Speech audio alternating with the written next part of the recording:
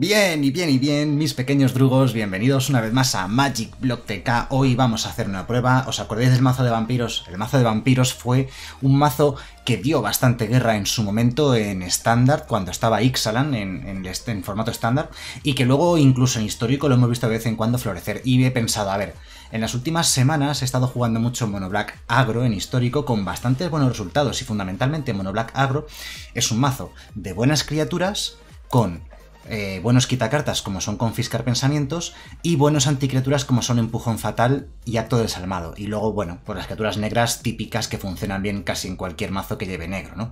Y he pensado, ¿qué pasaría si probásemos el mismo mazo, pero en lugar de ser mono black de criaturas buenas, monoblack de vampiros, que crean sinergias entre sí, y que además puedes aprovechar para meter Sorin, Señor Sangriento Altivo, que es uno de los mejores Planeswalkers que hay en Magic Arena realmente, aunque no se juegue, porque es un Planeswalker específico para vampiros. ¿Será posible hacer que el mazo de vampiros eh, vuelva a ser competitivo o al menos bastante jugable? Lo vamos a ver en el vídeo de hoy, eso es un poco el experimento. Tengo aquí un pequeño listado que he preparado debajo del vídeo, como siempre, en la descripción os lo voy a dejar para que lo podáis exportar a Magic Arena y probarlo.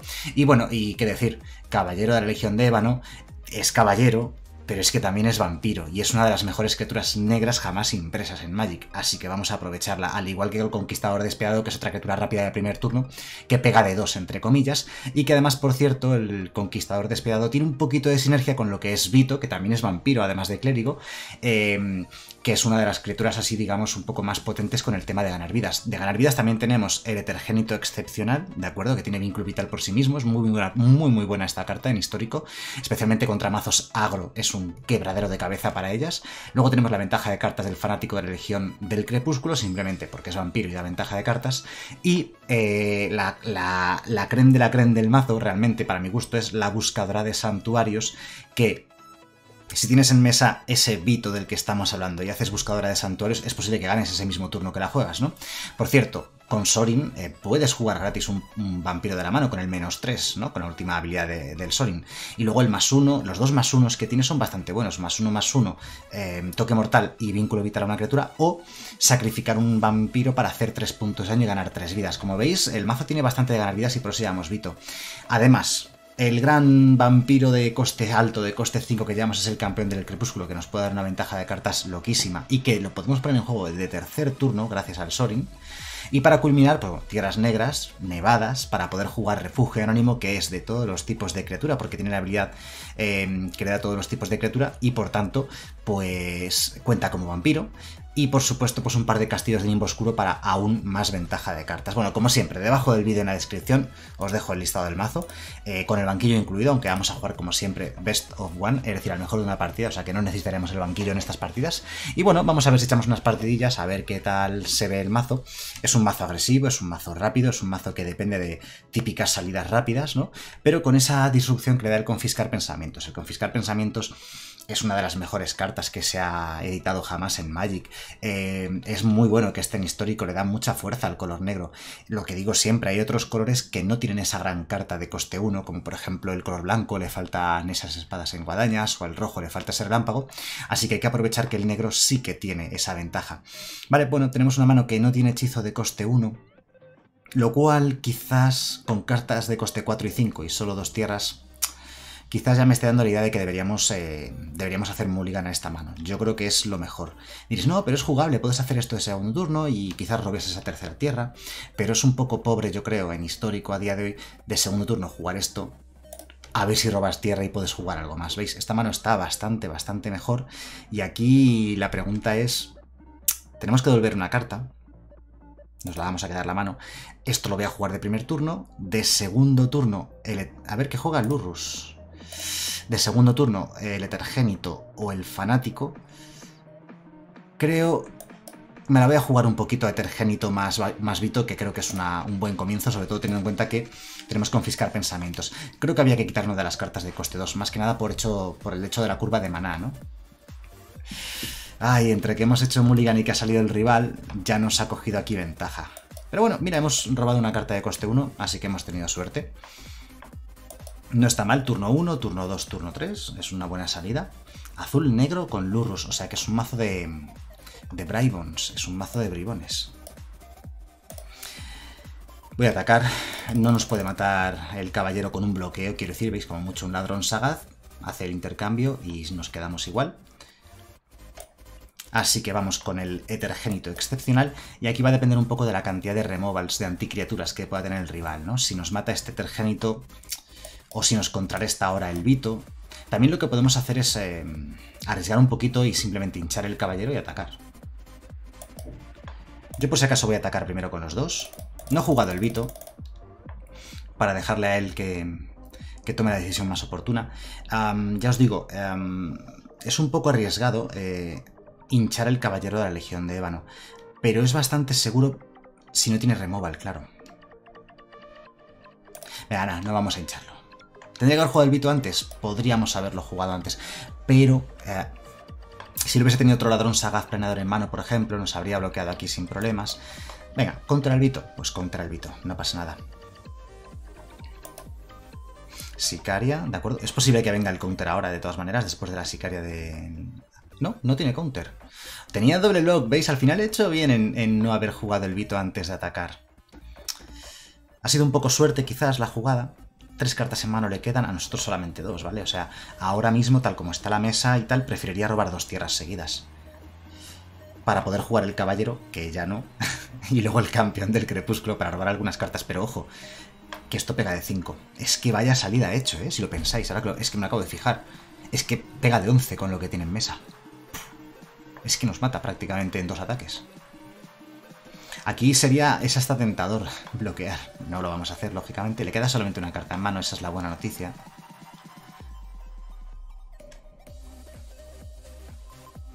Es curioso que no, que no ataque con las tres, o que ataque solamente con dos. Este ataque nos lo tenemos que comer.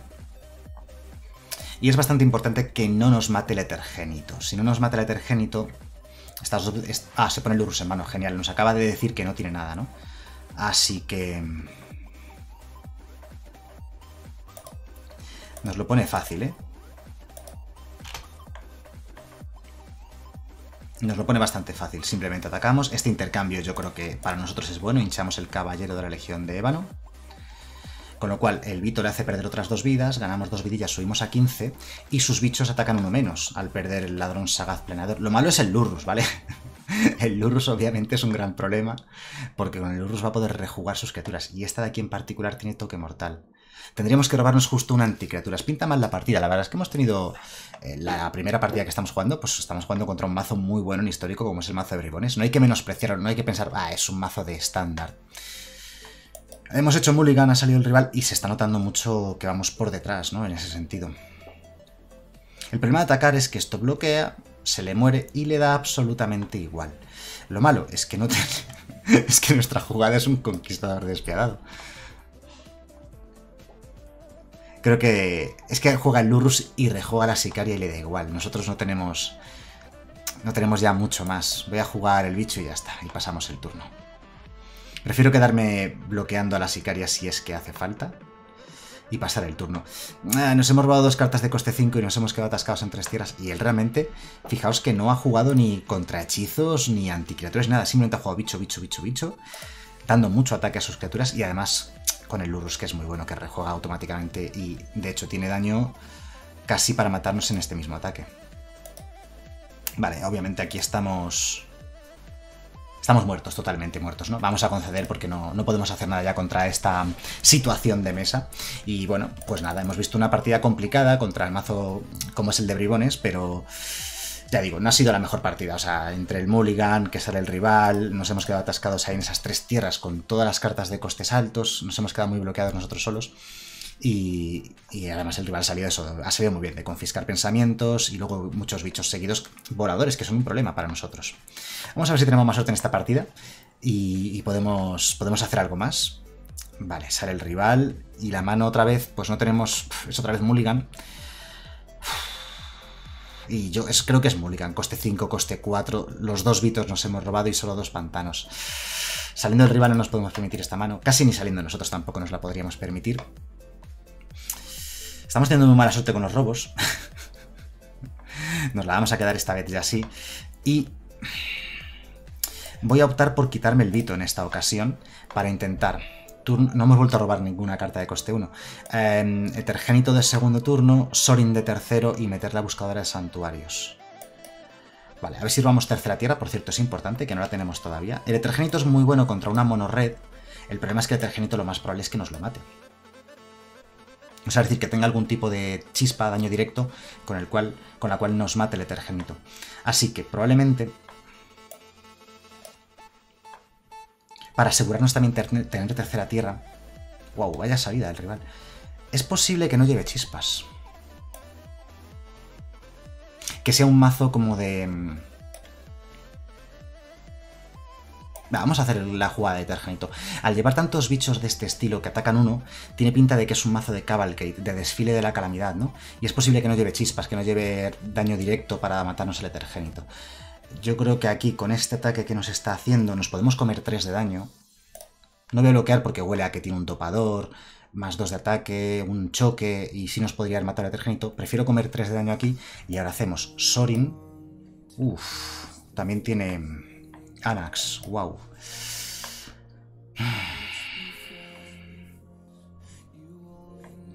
Es duro esto.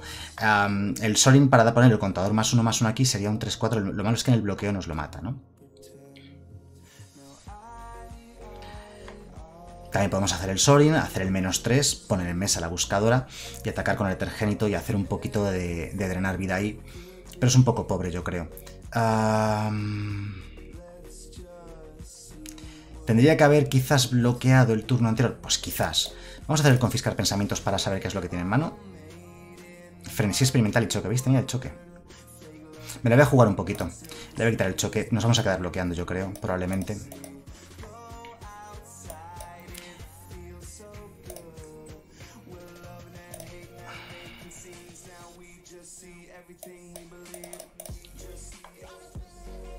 Sé que, sé que le he dejado en mano un frenzy experimental, pero es para que no nos pueda matar el Etergénito. Es importante. Le vamos a dejar atacar. Le vamos a dejar atacar y hacemos acto desalmado sobre el Anax. Ya sería mala suerte. Ah, vale, bien. Solo ataca con uno, así que... Perfecto. Sí, deja dos tokens 1-1, pero vamos, estamos bastante mejor que antes, sin duda. Lo malo es cuando robe la cuarta tierra y juegue el frenesí. Esto es absurda esta carta. Nos va a destruir solo con esa carta. Nos va a machacar. Vale, ¿qué hacemos entonces?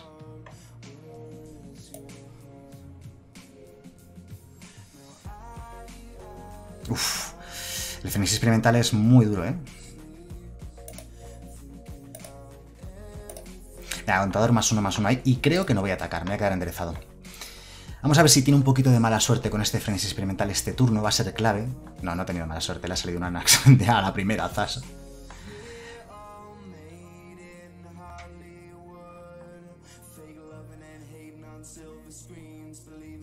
Me pregunto, es una monored de bichos pequeños, ¿no? Si llevará también Filobascua, por ejemplo, si llevará el, el desfile de la calamidad que os he comentado, no lo sabemos todavía. A ver, ataca de 5. O sea, es decir, no nos mata el Sorin atacando al Sorin salvo que tenga algo extra. Ah, bueno, sí, el escupebrasas hace un daño directo. Un choque le había, le había quedado en el top. Vale, nos va a matar el Sorin probablemente. Atacando con todo al Sorin, lo cual nos viene hasta bien, realmente. No ataca. Bien.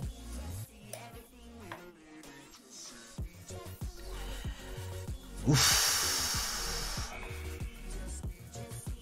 Podemos jugar el fanático, y hacerlo sacrificar para matar el Anax. El problema es el, el frenzy experimental que le hemos dejado. Es, cierto que es un problema, totalmente es un problema, ¿no?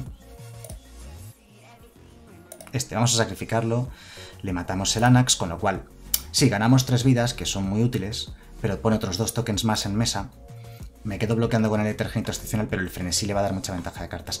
Tendría que haberle quitado el frenesí, ¿verdad? Con el confiscar pensamientos en lugar del choque. Pensé muy en el corto plazo, le quito el choque y ya está. Y ya, veremos qué hacemos en el futuro. Y fue un fallo, tendríamos que haber quitado el frenesí experimental, pero claro, a posteriori siempre es mucho más fácil, ¿no? Ahora sí, puedo atacar con todo, va sobrado, el frenesí le va a dar una ventaja de cartas demasiado grande. Va a atacar con todo el sol y lo va a matar. Nosotros sí haremos un buen bloque. Ahí está el desfile de la calamidad. Uf, pues pega... Hace 8 de daño solo con el desfile de la calamidad. 7 de daño. Y decía atacarnos a nosotros. Bueno, no es el fin del mundo. Vamos a atacar, vamos a bloquear yo con las escupebrasas, que es un daño inevitable. No nos morimos, nos quedamos a 2.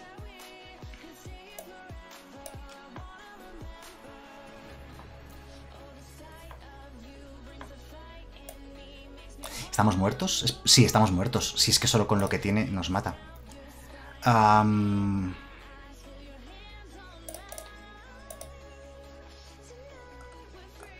Tenemos que atacar obligatoriamente, yo creo.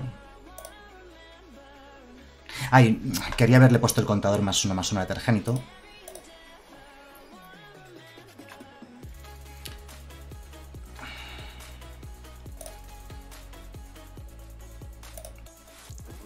Vamos a sacrificar el Tergénito y le vamos a matar el escupebrasas con el que ganamos otras tres vidillas.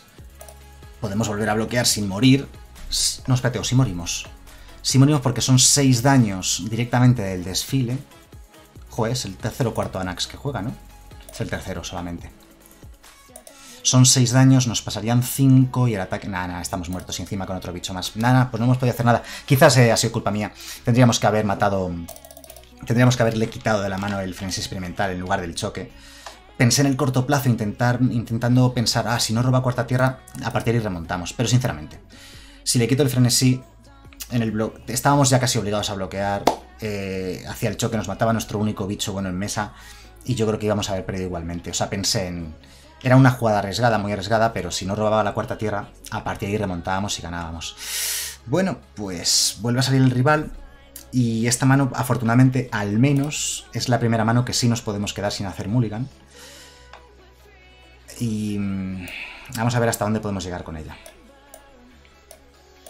Vamos con el Conquistador Despiadado, que bloquea suficientemente al mensajero de Bomat. O sea, está obligado a matarlo si quiere seguir atacando. Y luego, bueno, pega de dos. Así que es una buena jugada, un buen ataque para el segundo turno. Y tenemos el Etergenito de, de segundo turno. Ahora veremos si de segundo turno hacemos doble caballero o Etergenito. Viendo la buscadora de santuarios en mano, quizás sea mejor jugar cuantas más criaturas mejor, ¿verdad? A ver si conseguimos una victoria, joder, qué mal. Últimamente en los vídeos eh, no estoy teniendo mucha suerte y estamos, estamos perdiendo muchas partidas. Giganta aplasta huesos, lástima.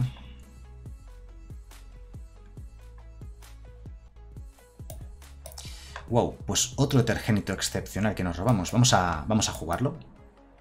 Aguanta 3, o sea, si él tuviese otro gigante aplasta huesos, tampoco nos mataría etergénito excepcional. No, lo que tiene es el jefe de sangre en este caso, con lo cual nos lo vuelve a matar. El mensajero obviamente es un problema porque tenía tres cartas. O sea, si se vacía la mano va a robar seis cartas de gratis. Al final, veamos con esto. Etergénito One More Time y Caballero de la Legión de Ébano. Es, es una buena situación para nosotros. Le podemos... Tenemos que decidir... Él no tiene un buen ataque realmente, porque siempre podemos bloquear al Caballero de la Legión de Ébano y al mensajero de Omat. O sea, es decir, tiene que tener algo en mano. Vale, no lo tiene, porque si no, no habría jugado esto. O sea que por fin, primera vez que no estamos tan mal.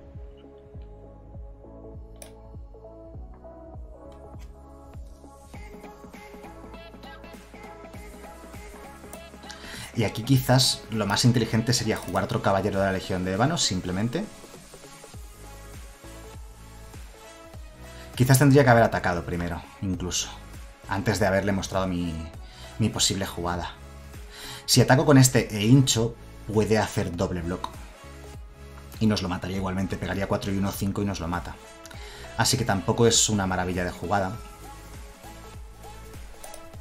Pero es suficiente, yo creo, para ganar un poquito de, de posición en esta partida. Lo, voy a, lo vamos a hacer. Si no bloquea, no hincho. Intentaremos eh, bloquear, o sea, hinchar este caballero para bloquear después. Si es que ataca, le, vamos a quitar completamente las ganas de atacar, salvo que lleve filoascuas, ojo. Si lleva filoascuas nos vamos a arrepentir, lógicamente. Vale, bloqueito fácil y bloqueito fácil ahí. Si le estamos forzando, le estamos incitando... Si tuviese filoascua, la tiene, la tiene. Se la pone el gigante y nos pega un montón, pero le matamos sus otros dos bichos, ¿vale? O sea, no es el fin del mundo. Ganamos dos vidas. Eso sí, es un ataque muy fuerte, es un ataque de 10. Pero, como podéis ver, no está mal del todo si a continuación hacemos buscadora de santuarios, atacamos con todo, entrenar vida de 3, Es un ataque muy fuerte. Wow, hemos jugado bien. Sabía que podía tener filoasco y aquí él como mucho pega 10, bueno, salvo que tenga alguna otra locura que por poder puede tenerla. Entonces ahora, si ataca nos pega de 10, bajaríamos a 4 y ataca sin pensárselo. Wow. Tiene algo más. Venga, va, no bloqueo. ¿Qué es lo que tienes? Creo que es un farol.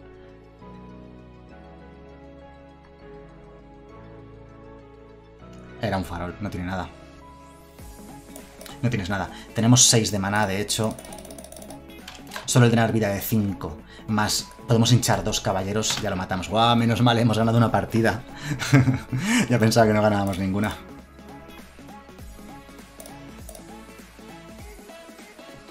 Ahí está, sí, señor. Era una Rack 2 agro con filoasqua. No estaba mal el mazo. El rival era similar al nuestro, pero con splash a rojo. Bueno, splash no, con rojo, básicamente. Y el rojo le permite llevar, pues, alguna chispa de daño directo, que es un removal, y a la vez eh, una forma de ganar las partidas, y sobre todo la filoasqua. Bueno, al menos hemos arañado una buena victoria. Yo creo que el mazo es bueno, eh, es lo que os digo siempre. Yo cuando juego estos, cuando hago estos vídeos o lo que sea, normalmente eh, no salgo ninguna partida. y normalmente hacemos un montón de mulligans. Eh, eh, podéis mirar todos los vídeos, bueno, si veis los vídeos a diario, lo sabéis, lo veis todos los días, como a lo mejor jugamos 3, 4 partidas y no salgo ninguna, o salgo una. Y además lo comento siempre porque me da la sensación, lo comento siempre porque como que el juego está estropeado o me están hackeando o algo extraño, ¿no? Quiero decir que el mazo es mejor de lo que ha parecido, aunque hemos perdido las dos primeras. Eh, y hemos, es que hemos hecho un mulligan en las dos, no hemos salido en ninguna de las dos. Quiero decir, intento mostraros el mazo tal como es, no os engaño, no quiero decir ni que sea ni mejor ni peor, siempre os muestro lo que hay, ¿no? Pero que en este tipo de situaciones también hay que ser objetivo y ver si hay veces que, yo qué sé, algún vídeo habré hecho, supongo que juego cuatro partidas, gano las cuatro, pero es que he salido en las cuatro y el rival ha hecho mulligan en tres, por ejemplo. Entonces no hay que pensar que el mazo es demasiado bueno. En este caso no hay que pensar que el mazo es demasiado malo. Creo que es mejor de lo que ha demostrado en estas partidas y es bastante recomendable. Así que si os gusta la temática de vampiros, los mazos monoblack, agresivos o lo que sea, yo creo que este es una, una bastante buena opción. Así que nada más, espero que el vídeo os haya gustado y nos vemos en el siguiente. Hasta luego.